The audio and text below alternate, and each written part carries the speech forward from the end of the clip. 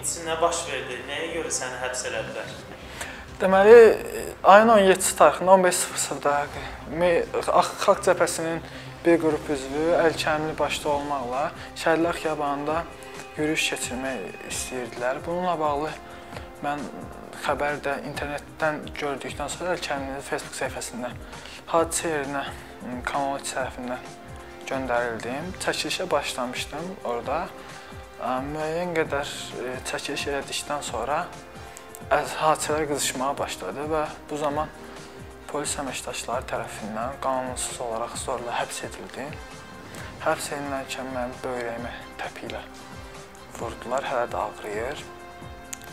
Mən onlara jurnalist olduğumu desəm də buna mərhəl qoymadılar. Mən boynumda yaxa kartı vardı. Yaxa kartına baxmadılar, yəni saymadılar. Hətta yerə düşüb itmişdi, sonradan tapıldı. Telefonum yerə düşmüşdü. Mənim monopodum vardı, çəkiliş elədim, canlı yayın verərkən. O tapılıb ümumiyyətlə çıxmadı ortalığa.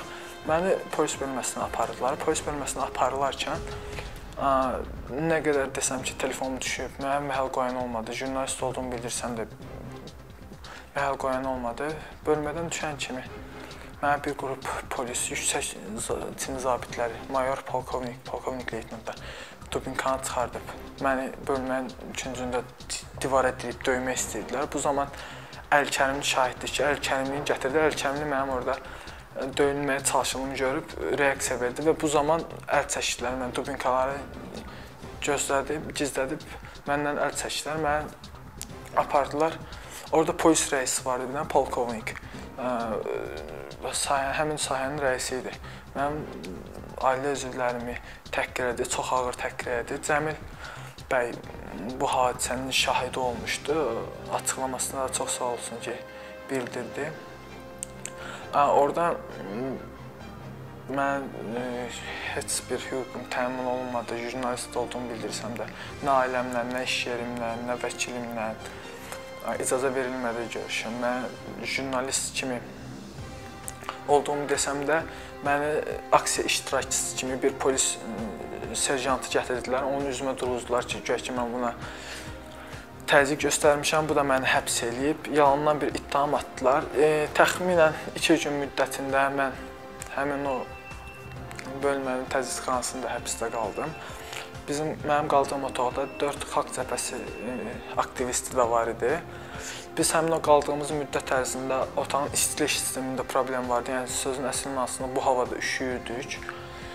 Yemək dövlət bizə heç təmin eləmədi. Öz cibimizin pulu ilə yemək aldıq. Yəni belə bir hətta absurd məqam vardı ki, bizdən pul alırdılar Əli Kərimliyə yemək almaq adı ilə. Əli Kərimlinin özündən pul alırdılar bizə yemək almaq adı ilə. Məsəl üçün 10 manatlıq qırılı artıq 40-50 manata başa gəlirdi. Sonradan bildik ki, Əli bəy bizim üçün pul ayırırmış. Arada pullarımızı yedilər. Biz orada heç çox kobud idi rəftarları, biz təzyiq göstərirdilər orada. Və məhkəmədə ə, mən hakimə desəm də ki, mən jurnalistəm, mən jurnalist olduğum halda mən həbs olunmuşam. Məhkəmə heç mənə maraqlanmadı. Mən dövlət tərəfindən təyin olunmuş vəkil heç hüquqlarımı müdafiə eləmədi.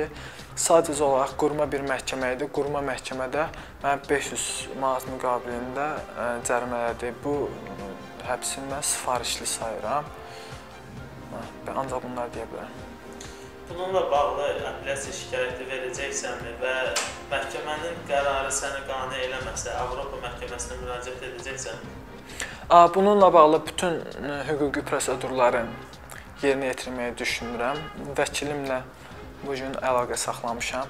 O gələcək, birazdan onunla görüşəcəm və bu iş sonuncu məqama kimi Avropa İnsan Hüquqları Məhkəməsinə kimi gedəcək. Və təbii ki, mən burada qalib gələcəyimə inanıram, çünki mənim nə etdiyim canlı yayın vasitəsilə hər kəs görüb. Artıq Kanal 3 internet televiziyasında təkcə 200 minə yaxın o canlı yayın videosu var. Hansı ki, o canlı yayımda açıq şəkildə görsənir ki, mən aksiyanı çəkirəm, polis əməkdaşlarına heç bir təzyiq göstərmirəm və mülki geyimli 3-4 polis əməkdaşı tərəfindən təzyiq göstərilərək həbs olunmuşam. Bunların hamısı açıq şəkildə göstərilir və düşünürəm ki, bunlar bəs eləyir ki, mən haqlı olduğumu bütün dünyaya isbat edim.